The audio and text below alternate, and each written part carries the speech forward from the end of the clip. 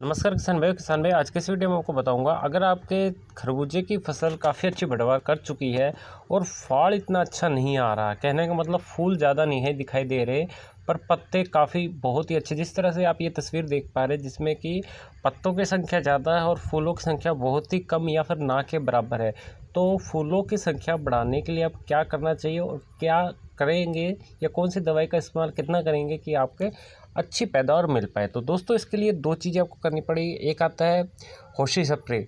दोस्तों, आप दो जबरेलिक एसिड का छिड़काव करना है। जबरेलिक एसिड के अंदर दो दवाई आती है, एक स्टेलर या फिर होशी। दोस्तों, होशी जो है, सबसे ज़्यादा यूज़ होती है स्टेलर के मुकाबले। तो कहने मतलब आप होशी दो मिली प्रति लीटर और साथ में उसके डबल ज़ीरो बावन चौंतीस, पाँच ग्राम पाँच ग्राम प्रति लीटर, दोनों को मिलाकर एक साथ छिड़काव करना है। इससे होगा क्या?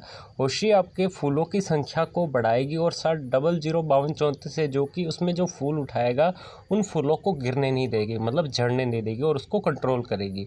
तो दोस्तों, इन दोनों का मिलाकर छिड़काव अवश्य करें। कहने का मतलब जबरेल एसिड जो कि है, होशी कीटनाशक जो कि आपको दो मिली प्रति लीटर और जो है डबल ज़ीरो बावन चौंतीस, वो है पाँच ग्राम प्रति लीटर। कहने का मतलब बीस लीटर की अगर ढोलकी से स्प्रे कर रहे हैं तो आपको प्रति लीटर के हिसाब से पाँच ग्राम आपको डबल ज़ीरो बावन चौंतीस डाल लेना और होशी आपको दो मिली प्रति लीटर डाल लेनी है।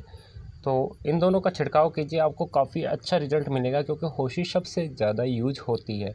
अगर इसके अलावा आपका कोई भी क्वेश्चन हो तो प्लीज़ कमेंट करें, मैं आपको जल्द ही रिप्लाई करूँगा।